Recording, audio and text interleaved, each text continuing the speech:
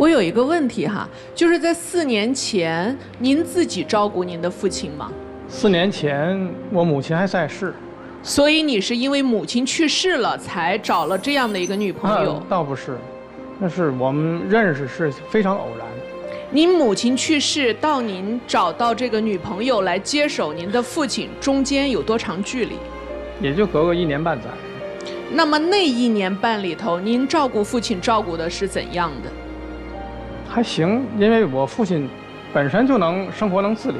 假如不是您的父亲的话，您还会考虑和他在一起吗？会的。